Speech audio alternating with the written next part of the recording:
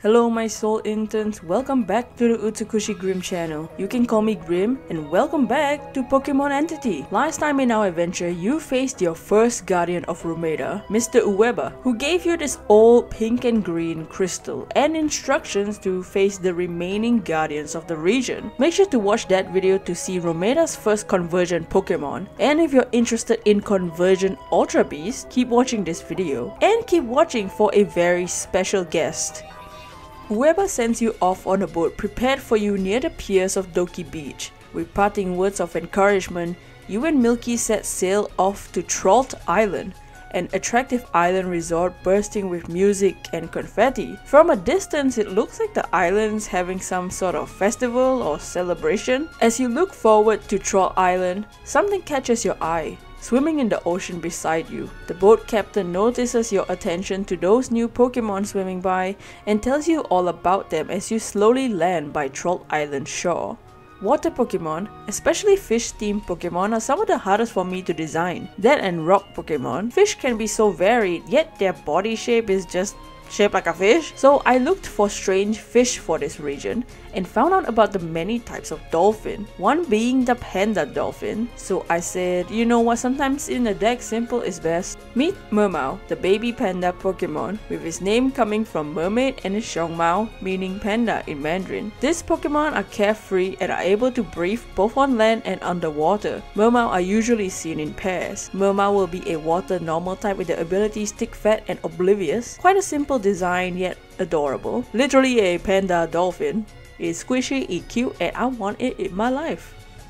For the evolution, I wanted it to be the big hungry boy. So it goes from being aloof and carefree to lazy. Pandas love to eat. What can I say? And since it's a panda of the ocean, it's eating seaweed. Yep, that's it. I just thought a weird animal fusion would be something you see on an alien planet from Earth. This is Mermanda, the water panda Pokemon, with its name coming from mermaid and panda. Mermanda are sluggish and lazy, they only go in the water to search for seaweed left by Dhelmise after they died off. Mermanda, like its pre-evolution, will keep the water normal typing and its abilities. This thick boy's dex references the extinction of Dhelmise in the region of Rumeda. Dhelmise were brought here during the collision, an incident that will be explained in a future episode. But Dhelmise, from Alola, arrived here in Rumeda, and Mermanda being big and cute are actually pretty scary predators when they enjoy how you taste.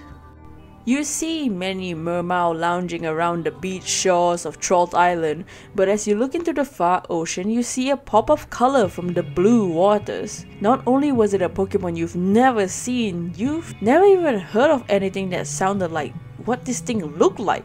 Ah, curious about those orange things, huh, kid? It's one of them floaties from the Naris group up in Jirmar City. They call them UCs and gave this little resort some of the floaty ones. This Pokemon is part of a special group that the boat captain called UCs, which stands for Ultra Clones. The Nauticz group created almost perfect replicas of what we know as Ultra Beasts, with DNA slightly altered, Ultra clones were created for the benefits of the Romeda region and its growing environment since the collision.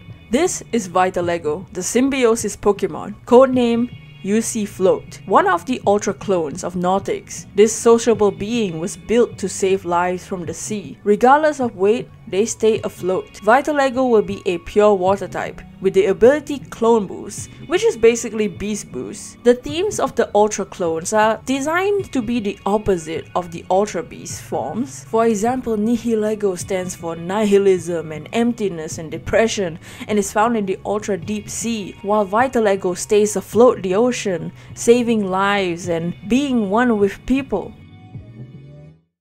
You Neb, hurry up! We need to see the festival now! Ula, chill.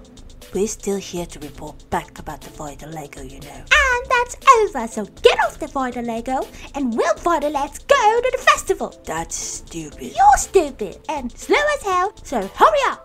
Oh, don't mind them, kiddo. Those are the twin admins of that other group I was talking about. Can't really stop them with Miss Admin Ula makes a fuss. Who's making a fuss, old man? You don't have a problem with us working, right? And what's with you, kid? Not happy with me or something? Ula notices that you're stepping closer to the boat, Captain, since she's being kind of aggressive. You know what? Before I join the fishing contest, I'ma beat these kids and their Pokemon. Don't need to join me, Neb. I can handle both of them myself.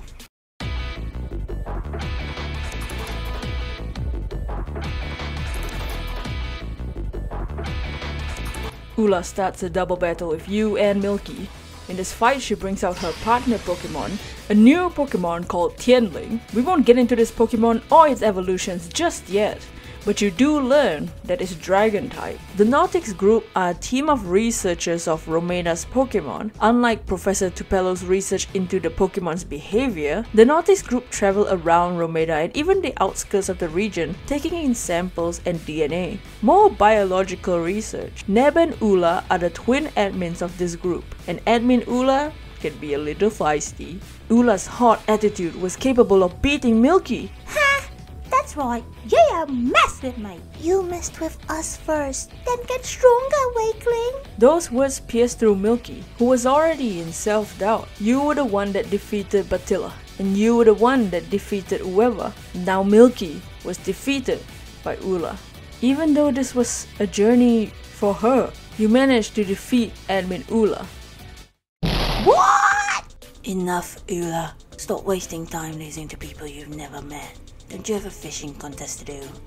And you, you should join the contest too. The Island's Guardian will be there. He's quite rare to see. Yet not rare enough to hear his loud war cries. I was going easy on you here, but don't expect leniency in the contest. The twins leave, and Milky speaks softly. You go on ahead to the festival. I think I'm gonna stay here a little and train. I need to get stronger. I'm not gonna keep relying on you. Not wanting to bother her anymore, you do as you're told, and you head on further into Troll Island. Oh, yeah! Welcome to the biannual Mermao Fishing Contest, you happy Saxa harvesters! This is your captain speaking, your resort manager, and judge, Tideson! I see many familiar dudes.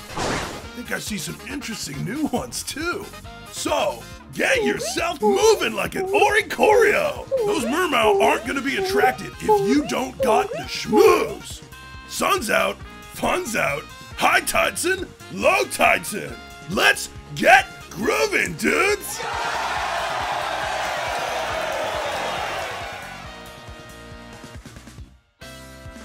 And that's where we'll end our adventure for today. Did any of the new Pokemon make it to your team? What do you think about the twin admins of the Nauticz group, Neb and Ula? And thank you to our very special guest, Kaephoon, for being the voice actor of Titan. Make sure to check out Kaephoon's Instagram and YouTube channel that I will link down below. He's voice acted in roles such as the Dung Defender and the Last Stag in Hollow Knight's Hallownest Vocalized mod. Passengers would come here to conduct rituals for those who had passed on. Thank you once again Kaephoon for being Titan and bringing him to life and thank you for watching this video. Make sure to subscribe to see what comes next in Pokemon Entity. Oh, happy day!